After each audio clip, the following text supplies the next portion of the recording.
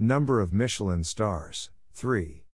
Once the head chef of the French Laundry, Corey Lee has created something entirely unique to the Bay Area at Benu, where he's been at the helm for seven years running. Hailing from South Korea originally, Lee's menu at this Soma restaurant is a little bit French, a little bit rock and Seoul. Think crispy frog legs with sweet and sour vegetables or thousand year old quail egg with potage and ginger.